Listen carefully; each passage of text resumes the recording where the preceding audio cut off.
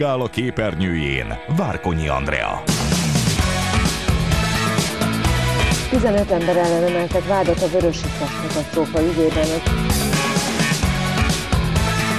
Sziasztok, szeretettel köszöntök mindenkit. Hú, hegytetőbb még sose beszéltem aztán.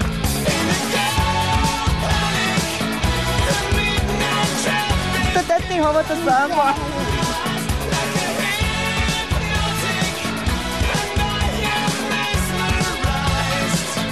Viszontlátásra szabad.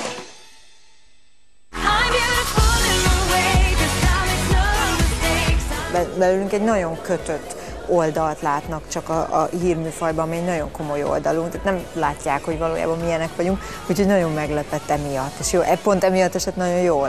Azt gondolom, az olvasók ezúttal is jól döntöttek, hiszen személyedben találkozik a hűvös elegancia és a női szépség. Ugye mindig ö, mondták, annak idején, mikor ezt még 11 éve elkezdtem, hogy a hírműsor vezetőn ne látszódjon érzelem. Én viszont nagyon érzelmes ember vagyok, és ö, én nem, nem tudok nem, tehát ö, nem tudom a mimikám, a tekintetem megerőszakolni. Tehát emiatt biztos, hogy valamennyi átjön belőle, arra próbálok figyelni, hogy ne legyen ez túl sok, vagy mondjuk olyan híreknél, ami, aminél tényleg nem kell, nem érdekli a nézőt, hogy a műsorvezető mit gondol, ott, ott viszont akkor teljesen tényleg póker arccal. A többinél én, én hagyom, mert, mert én, ez, ez vagyok én.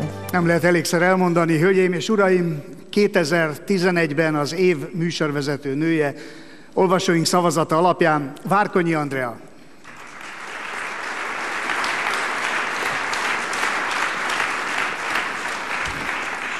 Nagyon szépen köszönöm. Egy hírműsor vezető mindig olyan, hogyha megmondják, hogy mondjuk 2 perc, 10 másodpercben beszéljen, akkor másodpercre pontosan annyit beszél. Most nem mondta senki, úgyhogy most kicsit kiélhetem magam. Minden délután elmegyek a kislányunkért az óvodába, hazaviszem, és utána megyek be dolgozni. És minden délután a Nóri kéri, hogy anya, ma ne menj el.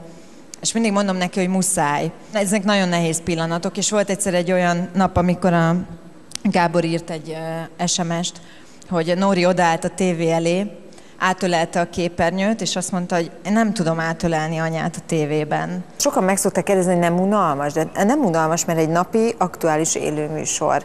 Nem tud unalmas lenni az, hogy, hogy az elmúlt 11 évre besz, ben beszámoltam már az ikertornyok le, terrortámadásáról Amerikában, vagy az EU csatlakozásról, vagy számtalan kormányváltásról, belpolitikai eseményekről.